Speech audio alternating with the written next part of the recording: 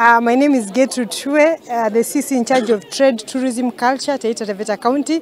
First, I want to really thank the Ambassador Paul Mukumbia for sponsoring this engagement. This is very enlightening.